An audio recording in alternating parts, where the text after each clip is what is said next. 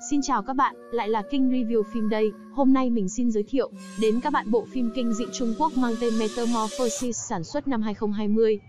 Cảnh báo, bộ phim có nhiều cảnh máu me và bạo lực quá mức, mong các bạn cân nhắc kỹ trước khi trực tiếp trải nghiệm.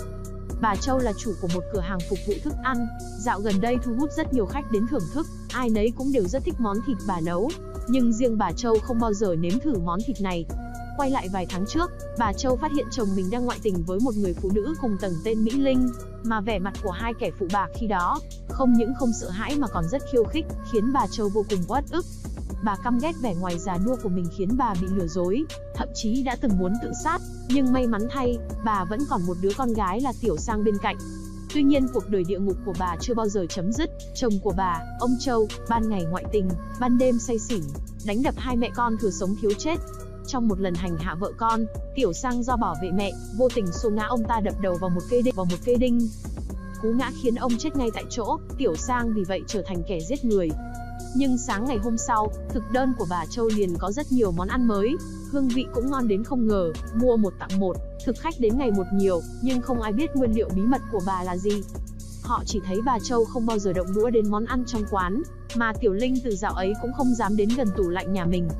Cô nàng tiểu tam sau một khoảng thời gian không thấy người tình đâu, bèn mặt dày đến hỏi chín thất, kết quả không được gì ngoài hộp cơm thịt nướng đặc biệt đem về.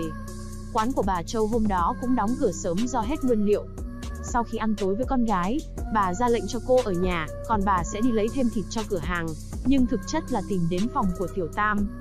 Trong khi Tiểu Sang ở nhà phơi bày tất cả sự thật, dùng hết dũng cảm mở cửa tủ lạnh để lộ sự thật bên trong.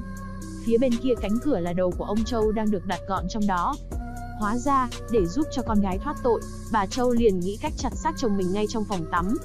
Giờ thì bạn đã biết, nguyên liệu bí mật khiến thực khách phát cuồng, và thứ thịt bà Châu bán hàng ngày bắt nguồn từ đâu rồi chứ? Quay về với hiện tại, cô à Tiểu Tam đã chết, bà Châu nhẹ nhàng chia từng thớ thịt trên người cô ta, thậm chí không ngần ngại nuốt sống một miếng.